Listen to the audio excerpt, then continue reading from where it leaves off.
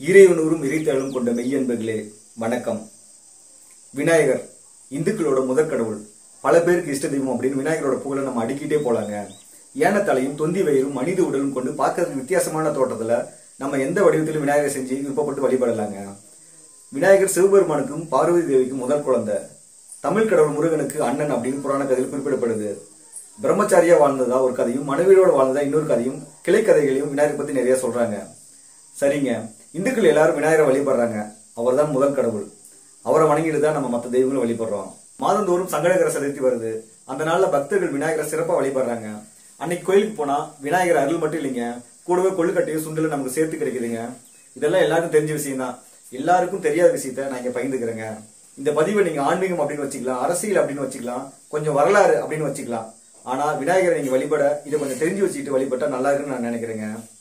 உங்களோட பக்தியும் ஆன்மீக ஞானமும் முழுமை பெறும் அப்படின்னு நான் நம்புறேங்க. விநாயகர் அப்படிங்கிறவர் நீங்க நினைக்கிற விநாயகர் இல்லைங்க. அவர் சிவனுக்கும் பார்வதிக்கும் மகனும் இல்ல முருகனுக்கு அண்ணனும் இல்ல. அவர் ஞான பணத்துக்காக அப்பா அம்மாவை சுத்தமும் இல்ல. என்னங்க ஒரே ஷாக்கா இருக்கா? சில விஷயங்கள் அப்படிதாங்க இருக்கும். இதெல்லாம் பின்னாட்கள்ல வரலாற்றில் புனையப்பட்ட கதைகள்ங்க விநாயகரை பத்தி சொல்லப்படுற கதைகளை திரைப்படங்கள்ல டிவி சீரியல்ல பார்த்து ரசிங்க. ஆனா அந்த கதைகள் வெறும் கதைகள் அவ்வளவுதாங்க. விநாயகர் அப்படிங்கிற ஒரு உருவம் இல்லைங்க. அது தமிழர்களோட தத்துவம். நம்ம முன்னோர்களோட உருவாக்கம். முன்னோர்கள் அப்படின்னு சொல்றது நான் மதவாதிகளை சொல்லலைங்க. நம்மளோட தமிழ் சித்தர்களை நான் சொல்றேன். அவங்களோட தத்துவ உருவாக்கமே விநாயகர். நம்மளோட முன்னோர்களோட வரலாற்றை தெரியினா விநாயகரோட வரலாற்றை நம்ம தெரிஞ்சுக்கலாங்க. தமிழர்களோட மரபு சார்ந்த விஷயங்கள் அந்தந்த காலகட்டங்களில் இருட்டடிப்பு பண்ணப்பட்டு வந்திருக்குங்க. அதில் ஒன்று தான் இந்த விநாயகர் உருவாக்கம். இதை உருவாக்குனது தமிழர்களோட மறக்கடிக்கப்பட்ட அல்லது இருட்டடிப்பு பண்ணப்பட்ட ஆசிவகர்கள் அப்படிங்கிற சமய துறவிகள்ங்க. அவங்க தான் நம்மளோட உண்மையான முன்னோர்கள். விநாயகரை நம்ம புரிஞ்சுக்கணும்னா தமிழர்களோட ஆதி சமயமான ஆசிவகத்தை நம்ம அவசியம் தெரிஞ்சுக்கிடுங்க. வைதிகம் மற்றும் வேதத்தை அடிப்படையாக கொண்டு வாழ்ற வேதிகளுக்கு எதிராக இருந்த தமிழர்களோட சிந்தனை மரபு தாங்க ஆசிவகம் மாயோன் சேயோன் வேந்தன் வர்ணன் ஆகிய நிலதெய்வங்களில் இருந்த தொல்காப்பிய காலகட்டத்துக்கு பின்னாடி இந்த சமயம் தோன்றியிருக்கலாம் அப்படின்னு கருதப்படுது. வானத்தையும் பூமியையும் சகல உயிரினங்களையும் படைச்சது இறைவன் அப்படின்னு பல சமயங்களும் மதங்களும் சொல்லுது. ஆனா தமிழர்களோட ஆதி சமயமான ஆசிவகம் அணுக்கோட்பாட்டின் அடிப்படையில தற்செயலா உலகம் தோன்றியதா சொல்லுதுங்க. முழுமையாக கடவுளை மறுத்து அறிவு கோட்பாட்டா பேசிய ஆசீர்வகம் வேதங்களுக்கு எதிராக நின்னுது. ஆசிவகர்கள் உருவ வழிபாட்டை எதிர்த்து ஞானம் சார்ந்த விஷயங்களை உருவாக்குனாங்க. இந்த பகுத்தறிவு ஒன்னே போதுங்க. ஆசிவக சமயத்தால காலத்தின் பிடியில தன்னை தக்க வச்சுக்க முடியல. ஆசீர்வகம் அழிஞ்சு போயிடுச்சு. அல்லது எதிர் சமயங்களால அழிக்கப்பட்டுச்சு ஆசீர்வத்தை உருவாக்குனவர் மர்கலி கோசலார் அப்படிங்கிற ஆசீர்வக துறவிங்க. இவர் தான் இன்னைக்கு தமிழ்நாட்டுல ஐநார் அப்படிங்கிற தெய்வமா வழிபடுறாங்க. இவருக்கு பின்னாடி நிறைய ஆசீர்வக துறவிகள் தோன்றிருக்காங்க. இவங்க உருவாக்கின சமயமும் தத்துவமும் இன்னைக்கு இல்லாம போயிருக்கலாம். ஆனா அதோட மீதி எச்சங்கள் வரலாறு முழுக்க பரவி நமக்குள்ள புதஞ்சு கிடக்குங்க. நம்ம ஏரி பக்கம் ஒதுங்க போனா எட்டி பாப்பம் ஐயனார். அவரோட வரலாறை தோண்டி பாருங்க. எல்லாமே புலப்படும். விநாயகரோட ஆதிக்கதை நமக்கு கிடைக்கும். விநாயகருக்கும் ஆசிவக சமயத்துக்கும் ஐயனாருக்கும் என்ன சம்மந்தம் கேட்குறீங்களா ஆமாங்க நிறைய சம்மந்தம் இருக்கு. ஏன்னா ஆசிவக சமயத்தோட சின்னம் யானைங்க. யானையை மைப்படுத்தி தான் ஆசிவக துறவிகள் தங்களோட ஞான தத்துவங்களை உருவாக்குனாங்க. யானையோட கட்டல் திறன் நினைவாற்றல் பொறுமை மன வலிமை குழுவாய்ங்கிற பண்பு போன்ற தன்மைகளை ஒரு ஆசிரியர் கத்துக்கிட்டா பல படிநிலைகளை கடந்து இறுதி அடைய முடியும் அப்படின்னு ஒரு தத்துவார்த்தத்தை தான் அவங்க வச்சிருந்தாங்க. மேலும் யானையோட நிறத்தை வச்சு ஆசிரியர்கள் ஒரு கோட்பாட்டை உருவாக்கியிருந்தாங்க. ஆறு நிறங்களை பயன்படுத்தி ஆறு வகையான படிநிலைகளை உருவாக்கியிருந்தாங்க.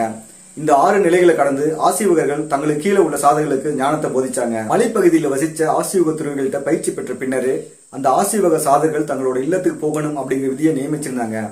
மேலும் ஆசிவக நிற கோட்பாடும் ஏனையோட நிறமும் அதோட தன்மைகளும் ஒன்னா இருந்ததுனால ஏனைய ஆசிவக சின்னமா அவங்க உருவகப்படுத்தினாங்க. யானை பிறக்கும் போது கருப்பு நிறமா இருக்கும். இது முதல் நிலை. பிறகு அது வளர வளர கருப்பு நிறத்திலிருந்து சாம்பல் நிறத்துக்கு மாறுது. யானை குட்டியா இருக்கும்போது சாம்பல் நிறத்துல இருக்கிற தன் தாயிடமிருந்து தான் வாழ்வதற்கு எல்லா ஆதாரங்களையும் அது கத்துக்குது. அந்த குட்டி யானை தான் வளரும் போது தான் காட்டில் சந்திக்கிற சிக்கல்கள் எல்லாம் கட்டல்களின் வழியாக அது கத்துக்குது. அது பெருசான உடனே தன்னோட அனுபவங்கள் இருந்து தன்னோட குட்டிக்கு அது கத்துக் கொடுக்குதுங்க. யானையோட இந்த வாழ்வியல் மனப்பான்மையை ஒரு ஆசிர்வ சமயத்தை சார்ந்தது கத்துக்கிட்டா அவரோட வாழ்வு மேம்பாட்டுக்கு அது உதவுதுங்க. மேலும் ஒவ்வொரு நிறமா சொல்லப்பட்டு இந்த ஞானப்படி நிலைகளோட கடைசி நிலை நிறமிலி அப்படிங்கிற இறுதி நிலையை அது வெட்டுது இதனால ஒவ்வொரு ஆசீர்வ சமயத்தாரும் யானைகிட்ட இருக்கிற ஒவ்வொரு பண்புகளும் அவங்கள்ட்டையும் தான் வளர்த்துக்கணும்னு ஆசீர்வம் வலியுறுத்துதுங்க. மேலும் ஆசீர்வ சித்தர்கள் சுவாசத்தை பயன்படுத்தும் ஆசீர்வகத்தை பண்ணக்கூடியவங்க இதுக்கு முதன்மையா செயல்படுவது மூக்கு மூச்சு குழாயும் தான் யானையின் மூச்சுக்குழாய் நீளமா இருக்கிறதுனால அது சுவாச பயிற்சியின் முதன்மைத்துவத்தை குறிக்குது. இந்த காரணங்களால யானையின் தலையும் மனித உடலையும் சேர்த்து ஆசீர்வக நெறியின் உருவமா விநாயகர் உருவாக்கப்பட்டிருக்காரு. உயிர்நிலை அடைஞ்ச ஒவ்வொரு ஆசீர்வ சித்தர்களும் யானை முகம் கொண்ட விநாயகரா கருதப்படுறாங்க. சரிங்க இருக்கிற கதையில நீங்க ஒரு புது கதையை சொல்றீங்க அப்படின்னு கேக்குறீங்களா? ஆமாங்க இதுக்கெல்லாம் ஒரு ஆதாரம் இருக்கு. ஆசிர்வ சின்னமான யானையை பல இந்து கோயிலில் நம்ம சாதாரணமா தரிசிக்கலாங்க. திருச்சி மாவட்டத்தில் இருக்கிற திருப்பட்டூர் அரங்கேற்ற ஐயனார் திருக்கோயில்ல சுவாமிக்கு எதிர்ப்புறம் போய் பாருங்க. அங்கு வாகனமா யானை சிலை நிர்மாணிக்கப்பட்டிருக்கு. இது போல திருவள்ளர கோயில் கருவறையில இரண்டு வெள்ளை யானைகள் அமைக்கப்பட்டிருக்கு. இங்க மட்டும் இல்லைங்க சித்தன்னவாசல் ஓவியங்களிலும் ஆசிர்வ சின்ன யானை இடம்பெற்றிருக்கு.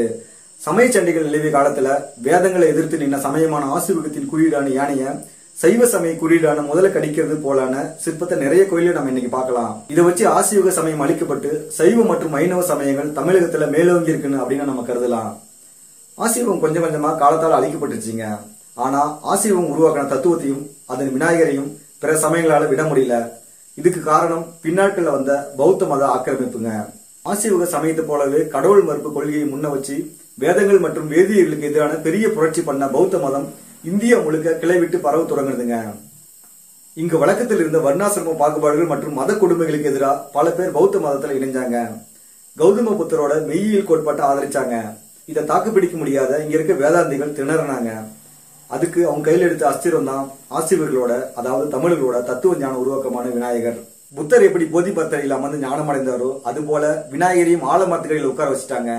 ஏற்கனவே ருத்ரன் வர்ணன் இந்திரன் அப்படின்னு இருக்கிற தங்களோட தெய்வங்களில் முதல் தெய்வமா விநாயகரை இணைச்சிட்டாங்க இவருக்காக சமஸ்கிருத மந்திரங்கள் மற்றும் தமிழ் பக்தி இலக்கியங்கள் உருவாக்கப்பட்டது. மேலும் புராண கதைகளில் சிவனுக்கும் பார்வதிக்கும் பிறந்த மகனா விநாயகரை புனைஞ்சிட்டாங்க. ரத்தமும் சதையுமா தமிழகத்தில் வாழ்ந்த பெரும் சித்தனான முருகப் பெருமானின் அண்ணனா மாத்திட்டாங்க. இப்படிதாங்க ஆசியுக விநாயகர் இப்ப இருக்கிற இந்து விநாயகரா மாத்தப்பட்டிருக்காரு. மேலும் விநாயக வழிபாடு வட இந்தியாவில இருந்து தமிழகத்தில் இறக்குமதி செய்யப்பட்டதா பொதுவா ஒரு கருத்து நிலவுதுங்க. இதெல்லாம் பின்னாட்கள் நடந்த விஷயங்க. ஆனா இங்கிருந்து இந்தியா இலங்கை மலேசியா சிங்கப்பூர் உட்பட பல நாடுகளுக்கு பரவிய தமிழோட ஞான வழிபாடான விநாயக வழிபாடு ஆதி தமிழின் உண்மையான மெய்யியல் கோட்பாடுங்க. தமிழ்நாட்டுல ஆரியத்துக்கும் திராவிடத்துக்கும் இடையில விநாயகர் கையில் எடுத்துதான் நிறைய சர்ச்சைகள் உருவாக்கப்படுது. கடவுள் மறுப்பு அப்படிங்கிற பெயர்ல முழுசா விநாயகரை புறக்கணிக்கிற திராவிடமும் வரலாற்றை ஈட்டடிப்பு செஞ்சு தங்களோட சுயநலத்துக்கு விநாயகரை பயன்படுத்துகிற ஆரியமும் என்ன பொறுத்த வரைக்கும் ஒரே முனையில் தாங்க நான் பாக்குறேன் ஆசிவக சமயத்தோட விநாயகர் இப்ப இந்துக்களோட கோயில்களில் முதன்மையான தெய்வமா இருக்காரு. பலருக்கு இஷ்ட தெய்வமா ஆயிட்டாரு. நல்லதுதாங்க. நான் வரட்டுத்தனமான நாத்திகத்தை முன்வைக்கல விநாயகரை நீங்க வழிபடுங்க. ஆனா விநாயகரை முழுமையா அறிஞ்சிட்டு வழிபடுங்க. விநாயகர் அப்படிங்கிறவர் அறிவு மற்றும் ஞான சொரூபத்தின் வடிவம். இந்த அறிவை கொண்டு விநாயகரை வழிபடுங்க. ஏன்னா பக்தி அப்படிங்கிறது நம்பிக்கையின் ஆதாரம். உங்க நம்பிக்கையை நான் பரிசோதிக்கல. ஆனா நம்பிக்கையோட உண்மைத்தன்மையை உங்களை உணர சொல்றேங்க. அதனால தொடர்ந்து விநாயகர் வழிபடுங்க. உங்களுக்கு ஞானத்தையும் அறிவையும் அளித்து உங்களது வினைகளை அறுத்தெறிவார் விநாயகர். நன்றி நண்பர்களே அந்த விநாயகரை வணங்கி நான் விடைபெறேங்க. உங்களது மேலான கருத்துக்களை கீழே கமெண்ட் பாக்ஸில் தெரிவிங்க. இந்த காணொலி பிடிச்சிருந்தா காணொலி லைக் பண்ணி சப்ஸ்கிரைப் பண்ணுங்க. இறை உணர்வும் இறைத்தேர்வும் கொண்ட நான் உங்கள் மருதை விஜயகுமார். நன்றி.